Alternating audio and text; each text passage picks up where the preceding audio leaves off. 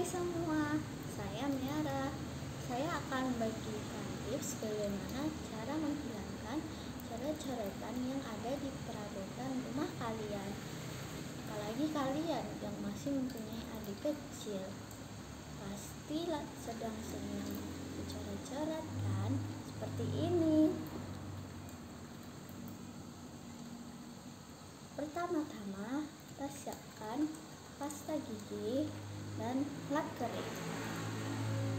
Kita buka tutup pasta gigi terlebih dahulu. Lalu oleskan ke bagian yang dicoret-coret.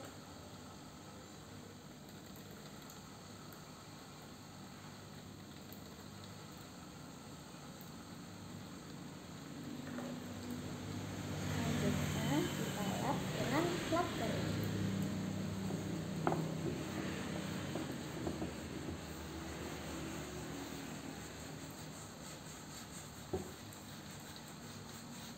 Bagaimana bersihkan? Sangat gampang kan? Kalian bisa melakukan tips ini di rumah kalian masing-masing. Sekian tips dari saya. Wassalamualaikum warahmatullahi wabarakatuh.